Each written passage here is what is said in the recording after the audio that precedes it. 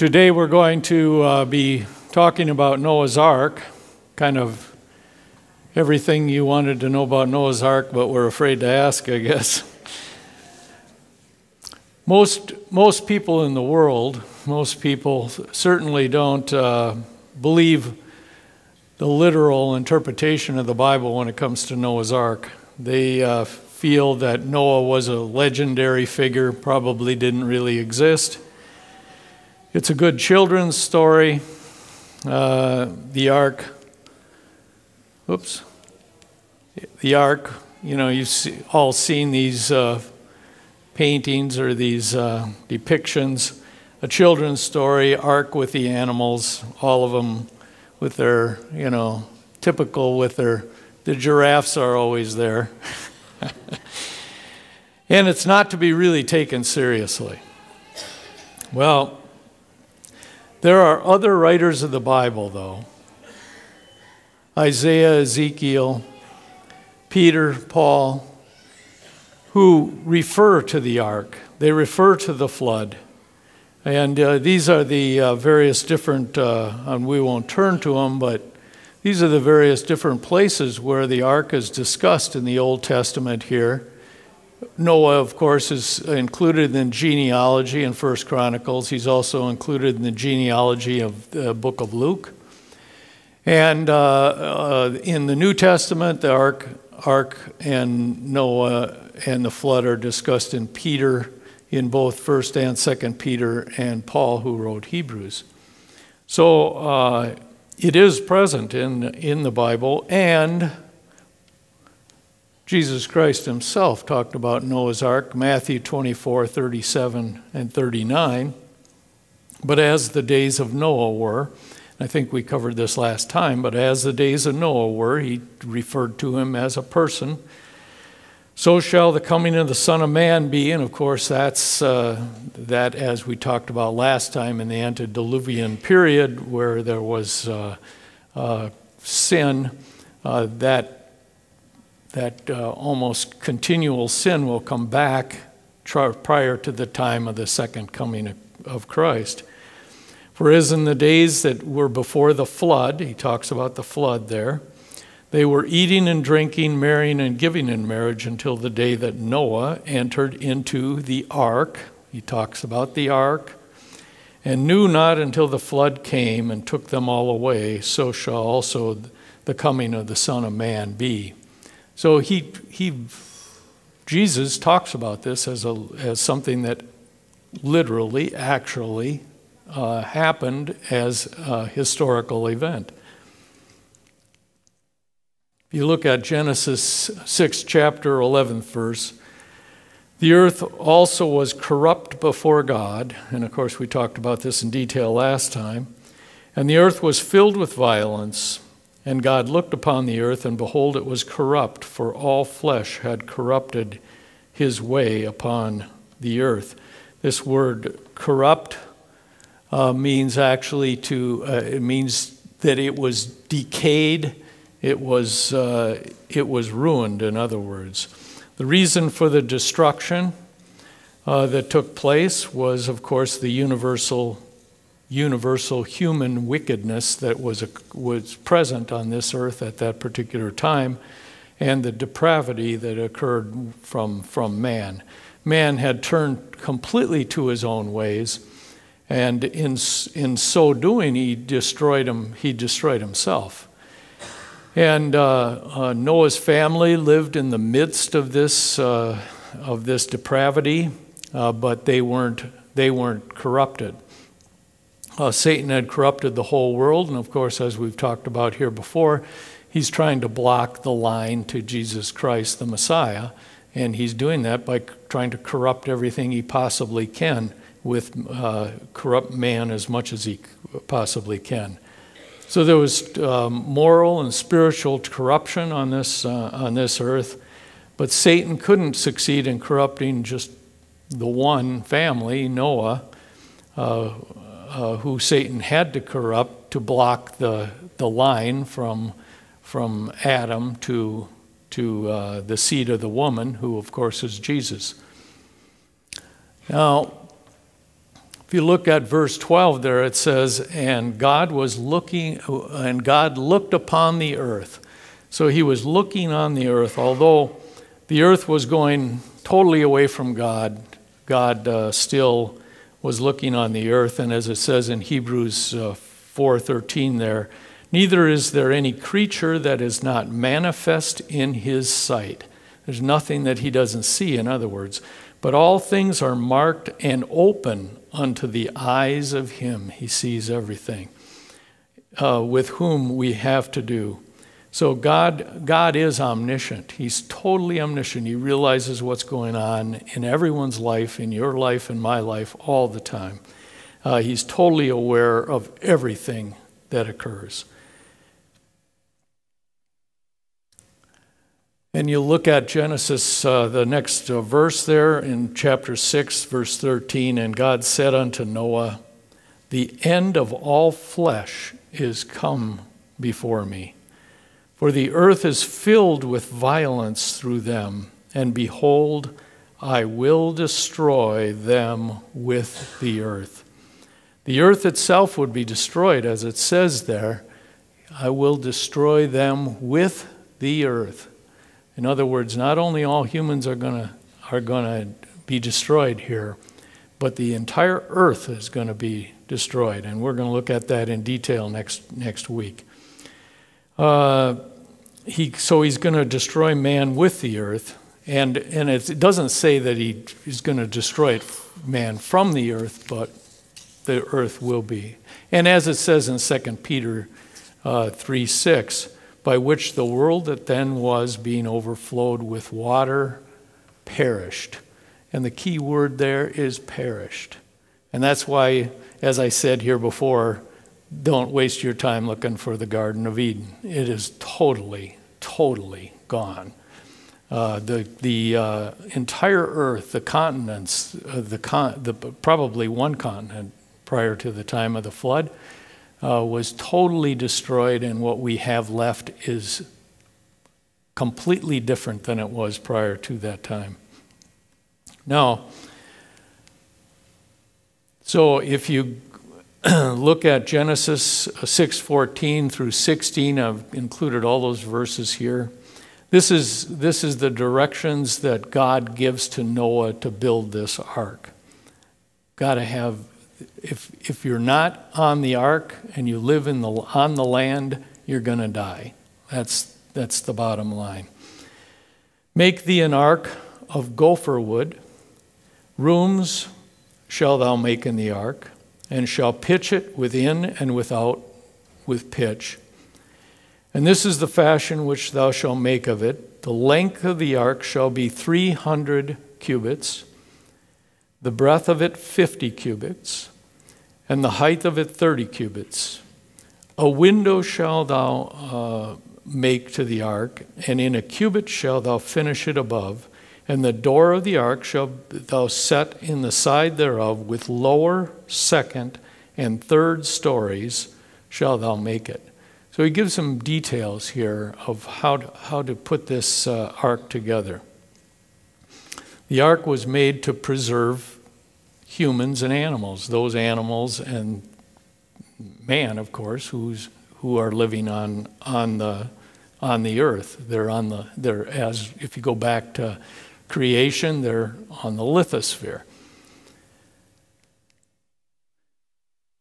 The biblical dimensions of the ark are, are a lot larger than anyone thinks. This here is a person standing right here, and this is a uh, this is in the Netherlands, and uh, this is an ark that's built to the to the biblical dimensions. There's one being built in Kentucky right now at the Creation Museum. The uh, uh, it was uh, the ark did not look like a typical boat. I'm sure. I'm not even sure this is really true. They've got rounded edges here. There's nothing. There's nothing that says that there was rounded edges on the on the ark. I I picture it more like a barge than than a, uh, than a boat. This looks a little bit too much like a boat to me. But uh, uh, it, it was, the reason it was built like a, like a barge was because it, it, it had a flat bottom. It was designed for capacity. In other words, you wanted to get as much in there as you possibly could. And, uh, and also, it was designed for, for floating stability, so it would be very stable on a, on a rough sea. And it will, remember, it was just really there for floating. It didn't have to go anywhere, it didn't have to move in any particular direction. There's a quotation from Mendez here who have, has looked into this, and, he, and his quotation is The ark was built on a 1 to 6 ratio. If you remember, it said it was 300 cubits long, it was 50 cubits wide. Uh, a 1 to 6 ratio, it's a, the science of naval architecture reveals that the most stable ratio for an ocean going vessel is 1 to 6. Isn't that interesting? All modern day ocean going vessels use the same length to width ratio. It is estimated that the ark could easily have survived even the largest of ocean waves. These dimensions are very stable, in other words, for, for, for tipping. Uh, there would be even more stable when, when the ark is at capacity, in other words, when it's, when it's loaded. It's almost impossible to capsize. As a matter of fact, they say that you can tilt, tilt the tilt the uh, ark at almost 90 degrees and it still will not capsize. So the, uh, uh, it's a very, it's very stable because the, uh, once the earth is completely covered by water, we're going to go into this in detail next time, but when uh, it's completely covered by water, the waves are going to be of tremendous size. Uh, the, the dimensions are similar to the large ships that are present today, including the, the, the uh, super tankers.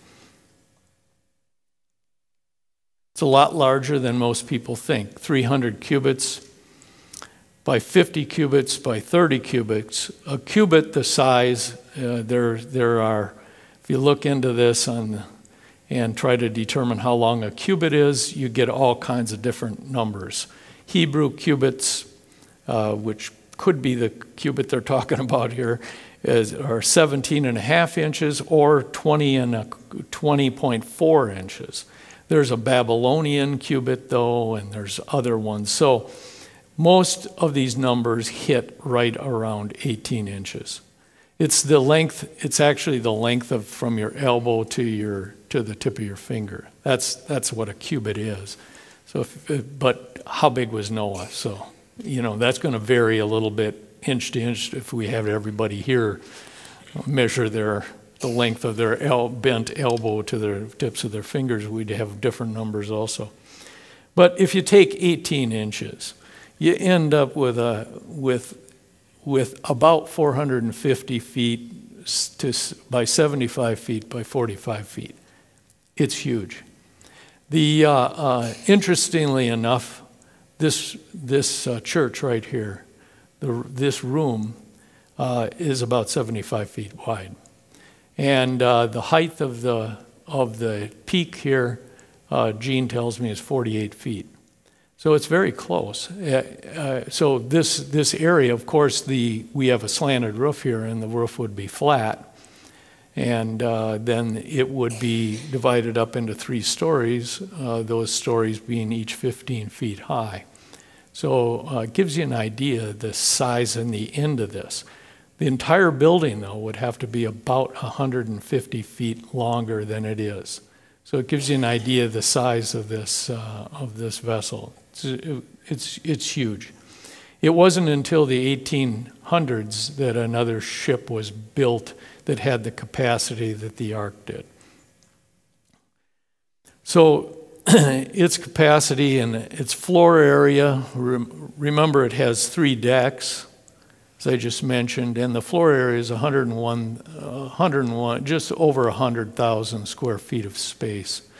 So there's a, there's a tremendous amount of space in, in this.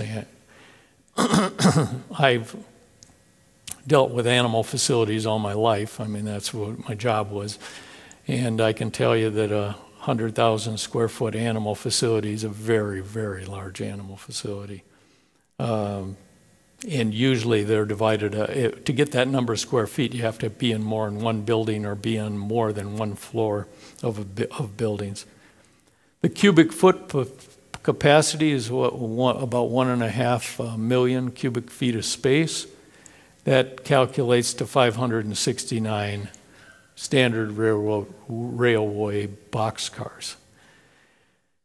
Uh, if you're going to calculate the number of uh, animals that'll fit in there, the USDA number for how many sheep can fit on a boxcar is 240. You calculate this out, you get 136,000 roughly. You know, I'm not, these numbers aren't exactly right, but 136,000 sheep sized animals.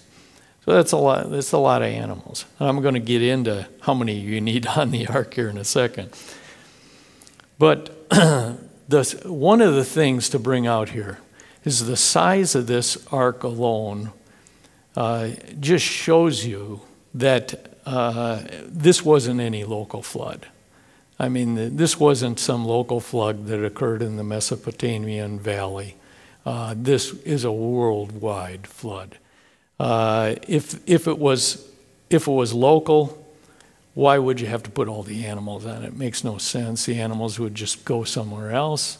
And, uh, and if they were more evenly distributed, a lot of them wouldn't even have to come to the ark uh, because they could survive outside if it was local. So this, there's no way this is a local flood. So if that's, if you're thinking that, forget it. It just doesn't make sense. It doesn't make any sense.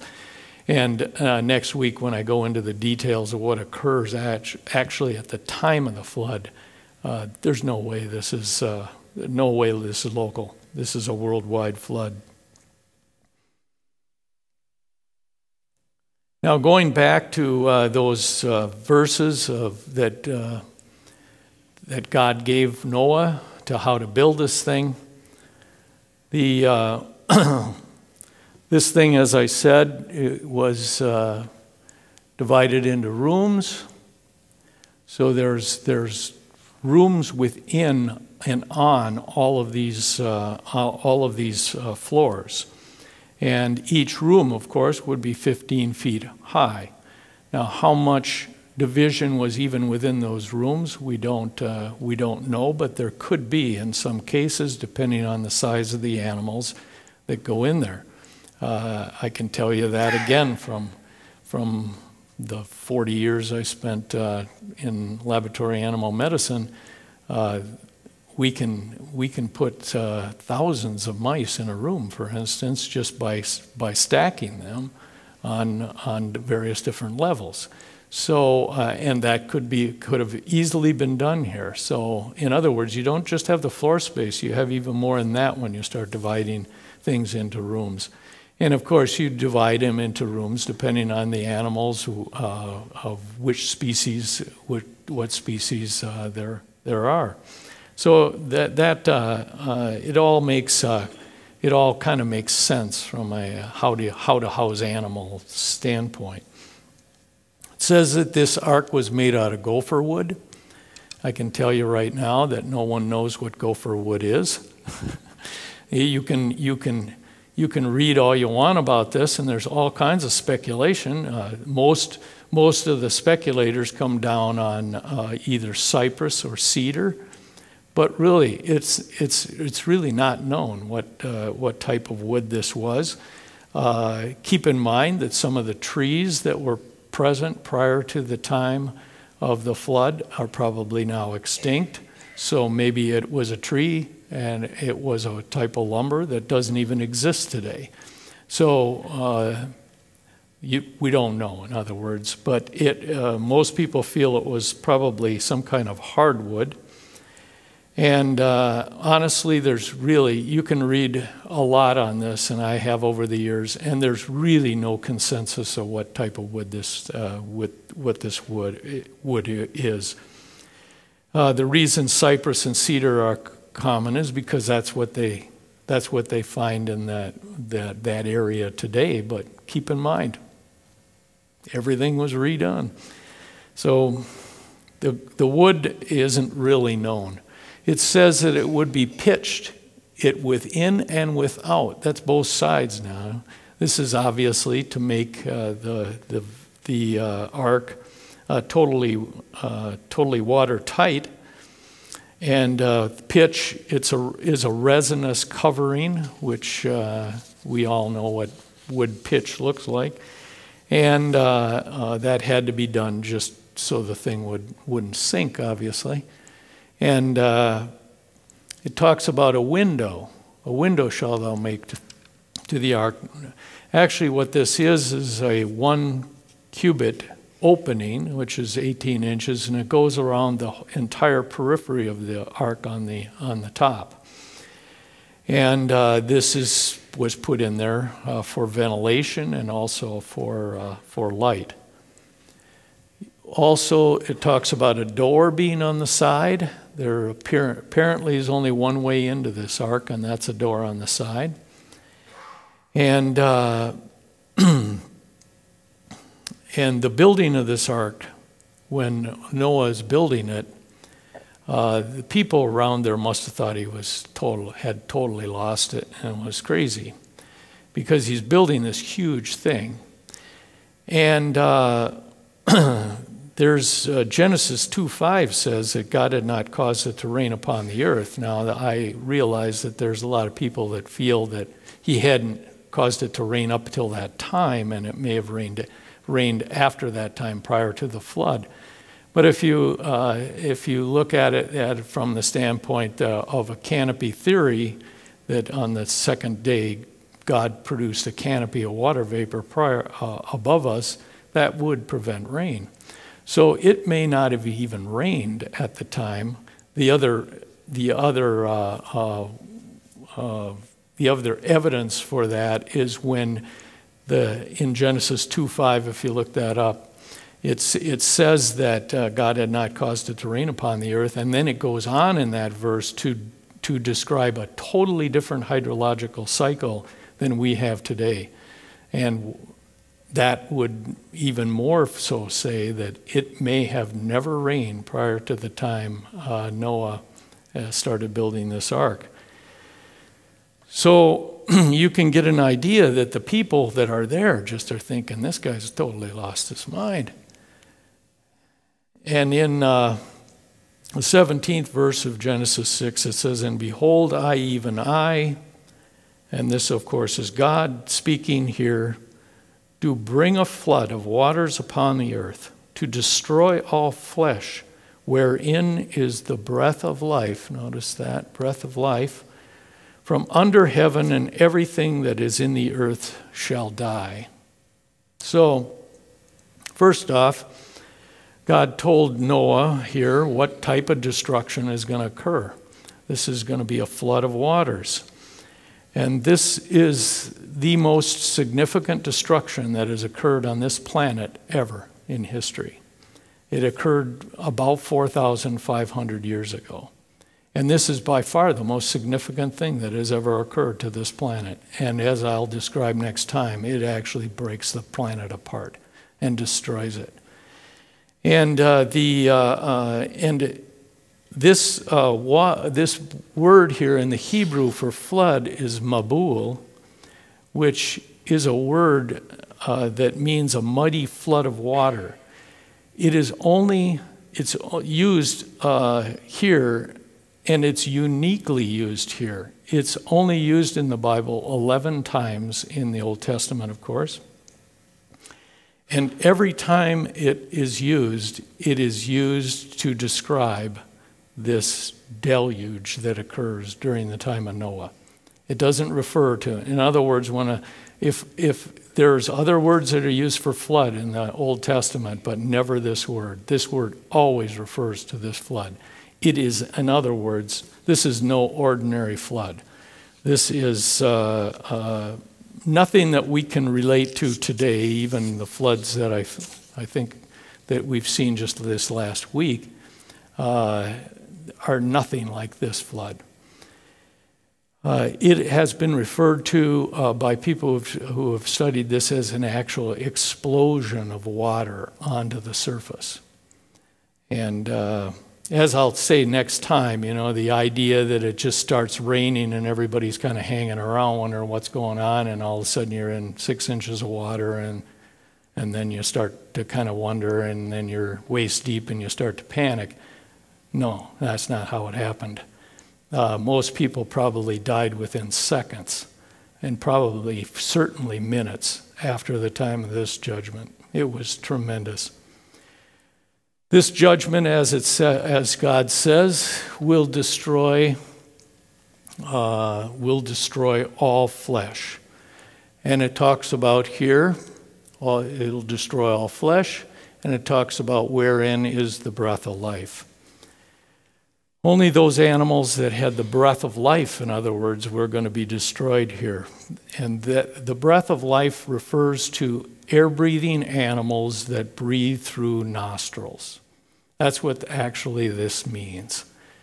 So, those uh, humans, of course, breathe through nostrils, and we know many, many animals do. All the mammals do, and and reptiles, amphibians, they all breathe through nostrils. But insects, for instance, don't breathe through nostrils. They breathe through uh, through spiracles, which are on the exoskeleton of this in the insect. And these invertebrates, uh, a lot of, there's, the reason I bring this up is because a lot of people criticize this because they say, well, there's, there's, I've seen numbers of different species and these numbers are all over the place. You'd think you'd know how many species are present on Earth today. Forget it. There's so many different opinions. And uh, uh, some people say 800,000 species of uh, insects and arthropods. Other people say it's, uh, it's uh, well over a million. I don't know how many there are, but I can tell you that they're breathing through spiracles, so they probably didn't have to be on the ark. How could they survive? Well, think about it. They're, they're, they're, for one thing, there was true, huge vegetation mats that were present on the surface that they probably could survive on.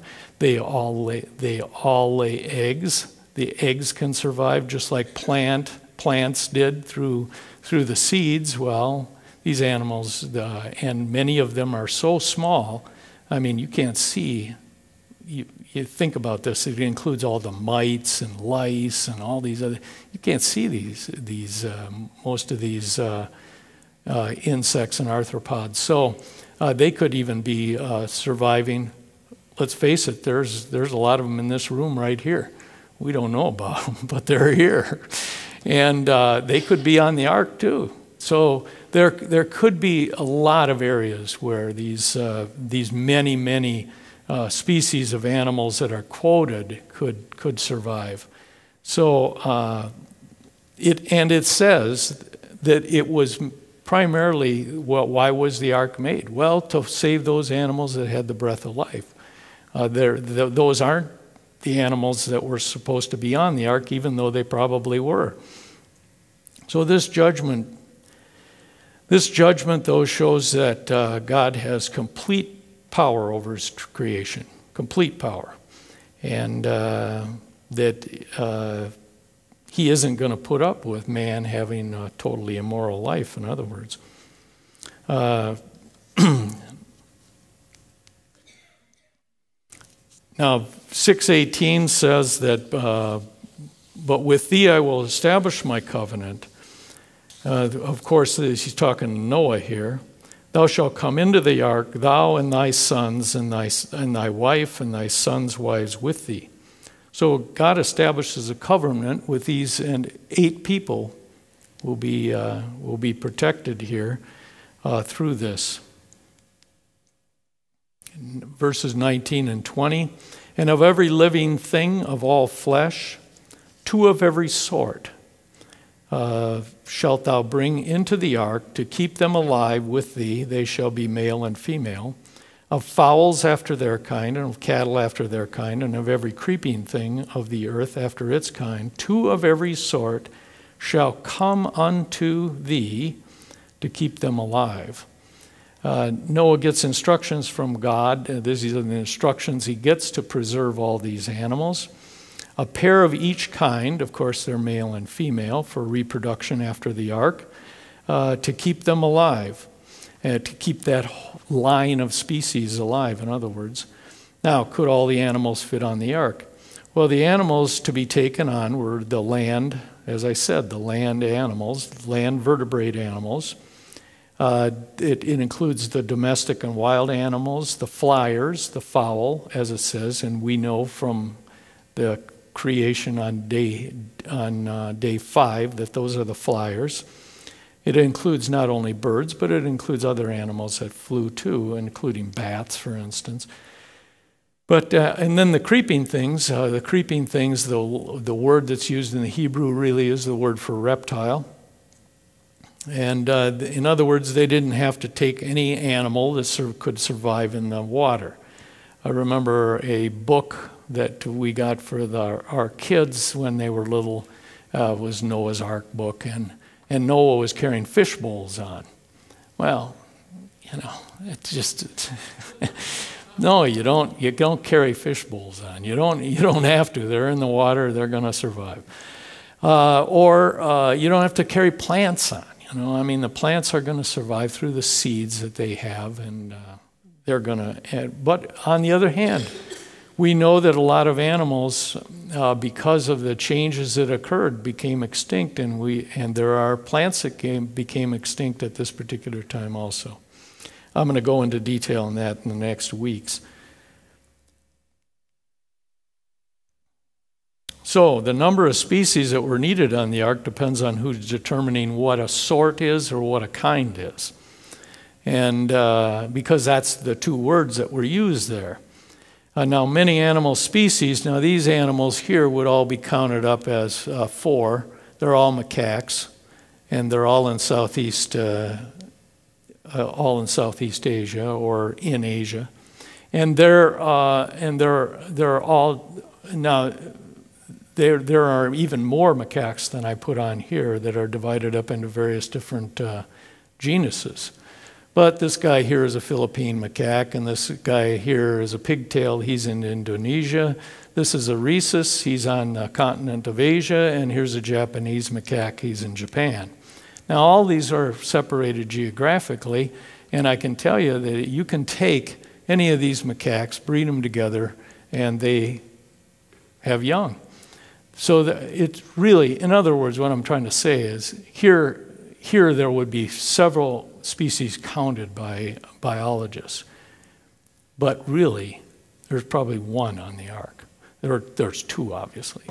There's, there's just, you know, and whether it looked like a rhesus or it looked like a pigtail or whatever it looked like.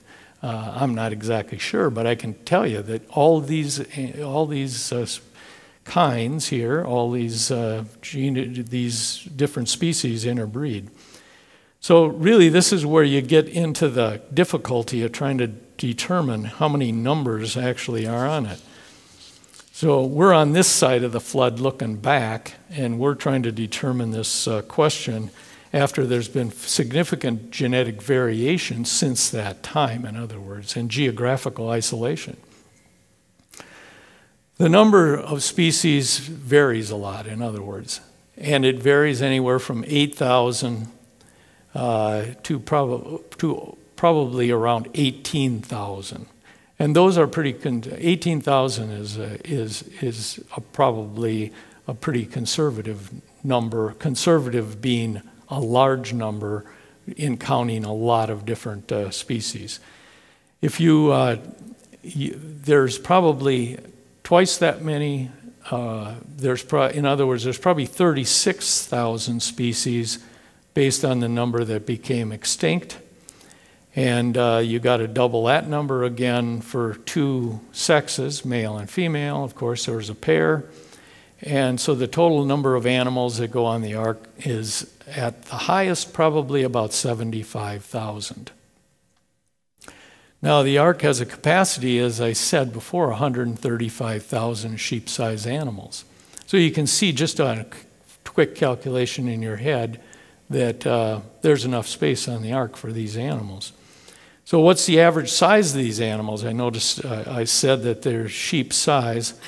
Well, animals, if you calculate all these species, they're significantly less in size. We think of big animals, but there's, there's so many rodents and lizards and everything else that uh, the size of these animals ends up uh, uh, ends up being a lot less than that.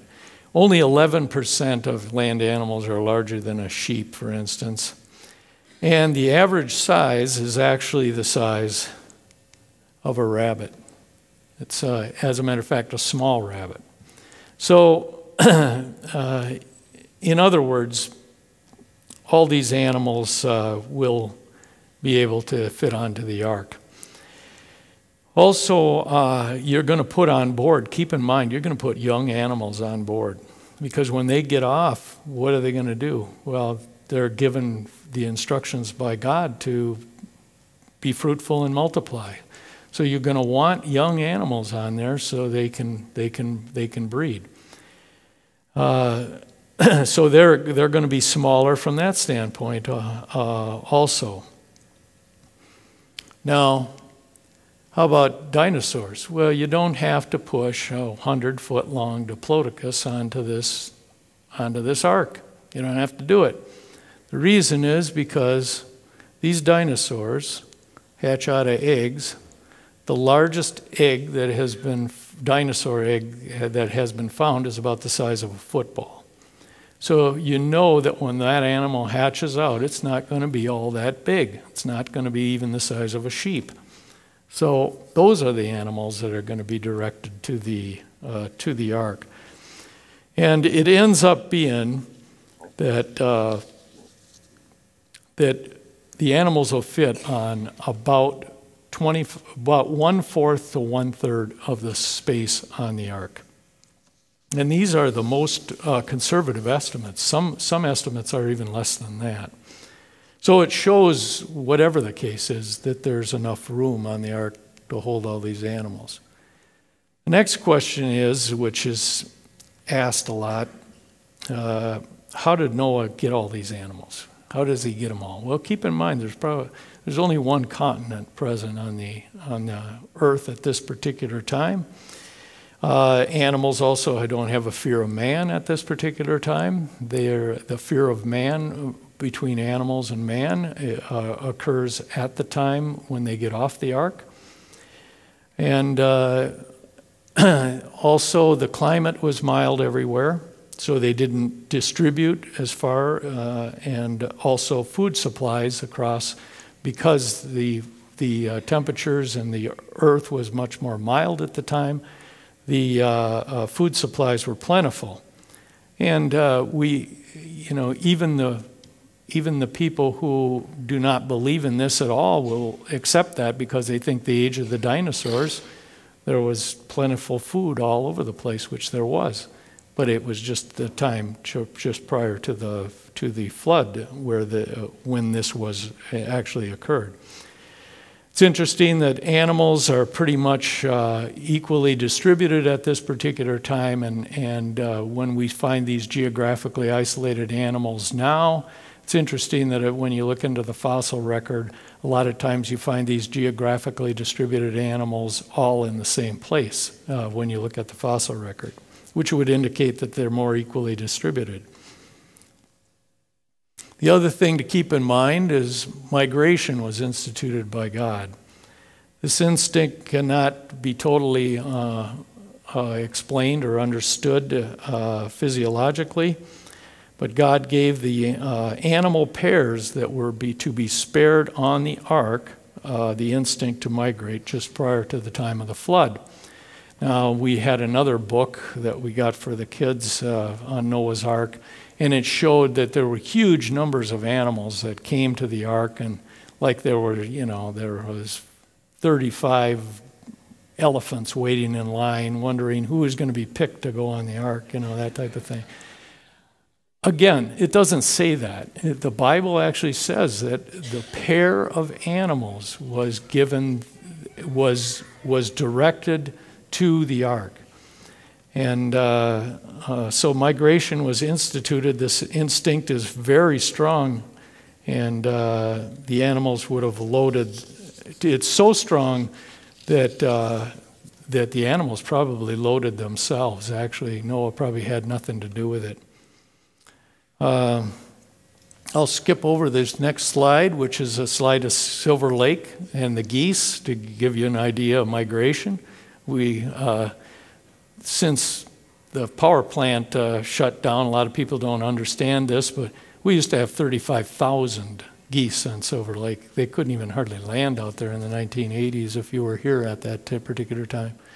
And uh, they fly all the way from this area here between Lake Winnipeg and Lake uh, Manitoba, and uh, that's where they that's where they're in the in the summertime, and thousands of them, thousands of them would come in here. We don't appreciate that anymore now that uh, the power plant is closed down. But uh, Genesis uh, 6:21 says, "And take thou unto thee all food that is eaten." So the rest of the ark, in other words, is used for food. And thou shalt gather it to thee, and it shall be for food for thee and for them.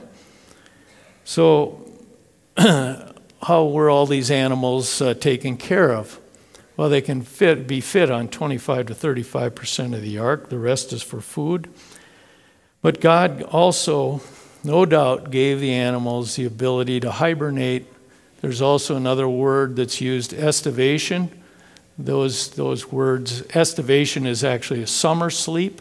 So you not only hibernation is thought to be during the time of uh, during the winter time. Estivation is during the summertime, and a lot of the uh, rodents that live in the desert, for instance, will estivate, not hibernate. So these instincts are still present in these particular animals. And when, when does that occur?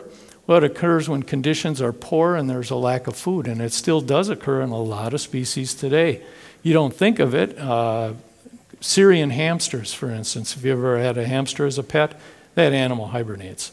And uh, it will estivate if it's in the desert, or it'll hibernate when the weather gets cold. I can tell you that because uh, I've experienced it. We lost power, and when I was at the University of Missouri, we lost power to a trailer one time. We had 700 hamsters in it, and the temperature dropped uh, to probably 40 degrees, and it was the quietest room you've ever seen all of the animals were hibernating, all of them. There wasn't anybody moving. It was really interesting. So uh, you don't think of some of these animals, but they have the ability to actually hibernate. But when there's inactivity and the food and water requirements are minimal, and as I said, hibernation is present in, in most of the animals. So uh, God gives them the ability to do that. And uh, here's a black bear. You can see his nose here. He's so black you can hardly see him here. But he's, in, he's not a true hibernator as they determine a true hibernator. He's a, he's a sleeper, but still, they are inactive. It's ideal for them to be inactive because they're in confined quarters. There's a lot less food and water required. And in this inactive condition, there's nothing to clean up. There's no bodily excretions at this particular time. Their GI tract uh, uh, pretty much closes down. So that explains a tremendous amount. And then when you figure out all these animals, and then, you know, some of the animals probably don't hibernate, there's food on board, and the uh, eight people can care for the rest. So it all, uh, all kind of makes sense here. And I'll end with this slide, but Noah was obedient. He, uh, uh, he did, this did Noah according to, the God, uh, to all that God commanded him, so did he. And it's actually stated four times that Noah did everything that God commanded him in this time period. He, uh, uh, he, he just followed God's, God's direction.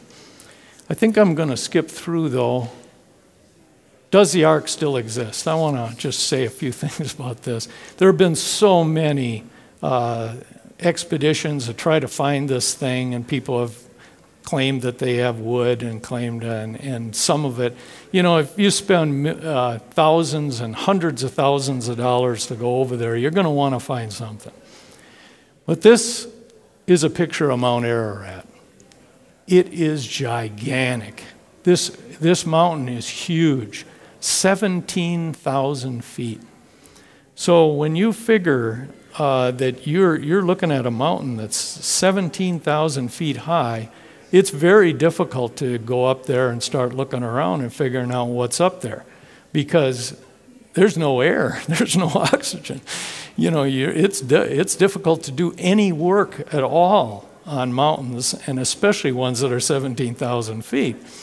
So uh, it is very difficult. Uh, you can only go out, do this, you can only even get to the mountain just a few months out of the year. And uh, it's very difficult to find. Uh, it's very difficult to get into there. And now, look where Mount Ararat is. It's on the eastern edge of Turkey. Here's Iran right here. This is the border with Iran. Here's Armenia. This is Azerbaijan. That's the area where the Boston bombers came from, by the way. This is Georgia. This area between the Caspian and Black Sea has always had people in it who have been fierce fighters. This goes back to the Assyrians and the Babylonians. They had all kinds of trouble with the people coming down from this area between the Black Sea and Caspian Sea in the Old Testament. You can read about it in the Old Testament. And it isn't any different, I don't think, today. This area is all Muslim right now. And, you know, you're, you're not going to want an expedition going in there with a politically unstable area we've got now. Nobody's going to go in there. You're not going to last very long. So, and you're not going to get the permits from Turkey to go in there anyway. So, this is, is it up there? It could be. There's a lot of, you know, there's satellite photos of it and all kinds of stuff, and I, I've seen a, a lot of that stuff on. But, uh, but whether it's still up there or not, there's no definite proof that it, that it exists there. But it may very well be there.